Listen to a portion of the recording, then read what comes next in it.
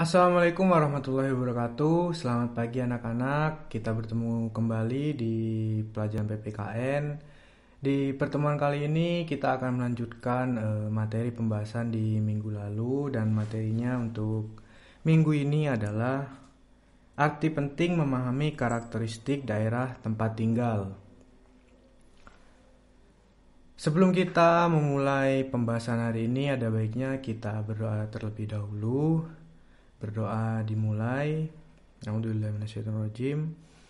Bismillahirrahmanirrahim. Alhamdulillahirabbil alamin arrahmanirrahim.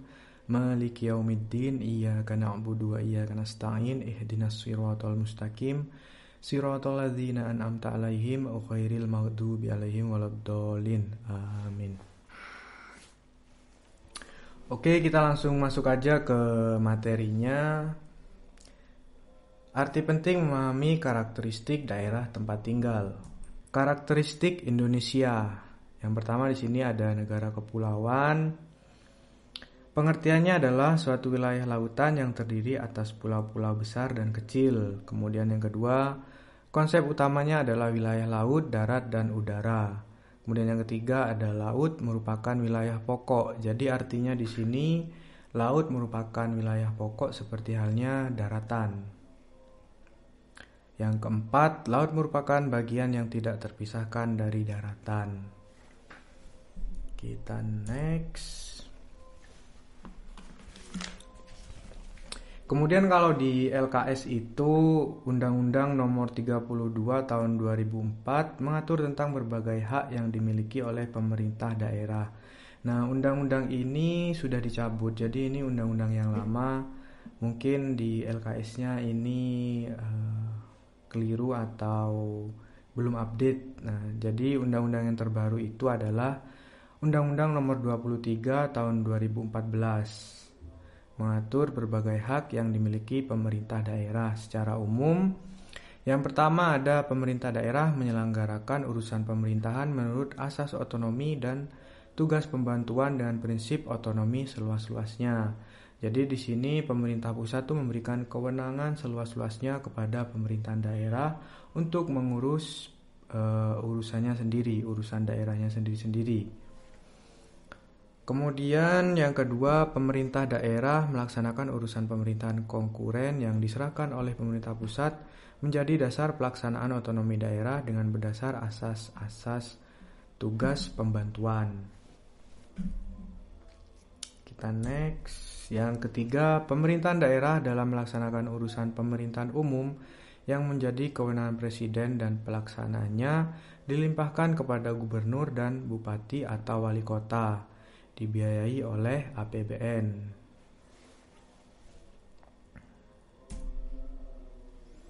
Kemudian di sini ada kontribusi rakyat dalam upaya mempertahankan persatuan dan kesatuan. Kita sebagai rakyat juga dapat berkontribusi dalam upaya mempertahankan persatuan dan kesatuan NKRI dengan sikap dan perilaku sebagai berikut. Yang pertama, menjaga wilayah dan kekayaan tanah air Indonesia. Yang kedua, menciptakan ketahanan nasional. Kemudian yang selanjutnya, menghormati perbedaan suku, budaya, agama, dan warna kulit. Yang keempat, mempertahankan kesamaan dan kebersamaan. Yang kelima, memiliki semangat persatuan yang berwawasan Nusantara. Kemudian yang keenam, menaati peraturan agar kehidupan tertib. Nah, di sini maksudnya menaati peraturan agar kehidupan berbangsa dan bernegara berjalan dengan tertib dan aman. Jika peraturan saling dilanggar, akan terjadi kekacauan yang dapat menimbulkan perpecahan. Seperti itu. Kemudian kita lanjut. Makna persatuan dan kesatuan. Bangsa dan tanah air Indonesia merupakan satu kesatuan yang utuh, meskipun bangsa Indonesia berasal dari berbagai suku bangsa yang memiliki adat istiadat, budaya dan bahasa daerah yang berbeda, serta mendiami pulau-pulau yang dipisahkan oleh laut dan selat, keberagaman suku bangsa yang terdapat di Indonesia harus dijadikan sebagai sarana untuk menumbuhkan rasa persatuan dan kesatuan. Nah, di sini makna persatuan dan kesatuan yang pertama ada prinsip Bhinneka Tunggal Ika. Jadi kita harus mengakui bahwa bangsa Indonesia terdiri atas berbagai suku, bahasa, agama, dan adat kebiasaan yang beragam. Kemudian yang kedua ada prinsip nasionalisme. adalah satu paham yang menganggap bahwa kesetiaan tertinggi atas setiap pribadi harus diserahkan kepada negara. Yang ketiga, prinsip kebebasan yang bertanggung jawab, yaitu kebebasan dan tanggung jawab kepada diri sendiri terhadap sesama dan Tuhan Yang Maha Esa. Yang keempat, prinsip wawasan Nusantara berarti memiliki ketentuan dasar yang harus dipatuhi. Dalam hal ini, Undang-Undang Dasar 1945 sebagai landasan konstitusional. Kemudian prinsip persatuan pembangunan untuk mewujudkan cita-cita reformasi. Sikap cinta tanah air dapat diwujudkan dengan perbuatan-perbuatan. Nah, jadi untuk menumbuhkan sikap terhadap tanah air kita atau nasionalisme, itu bisa diwujudkan dengan berbagai hal. Nah, yang pertama, bangsa sebagai bangsa dan bertanah air Indonesia. Uh, sorry, maksudnya bangga sebagai bangsa dan bertanah air Indonesia. Kemudian yang kedua, berjiwa dan berkepribadian Indonesia. Yang ketiga, rela berkorban demi tanah air, bangsa, dan negara. Yang keempat, senantiasa membela dan mempertahankan tanah air. Yang kelima, menjaga nama baik tanah air, bangsa, dan negara. Yang keenam ada tidak melakukan perbuatan yang merugikan tanah air. Kemudian yang ketujuh, setia dan taat kepada peraturan perundang-undangan yang berlaku.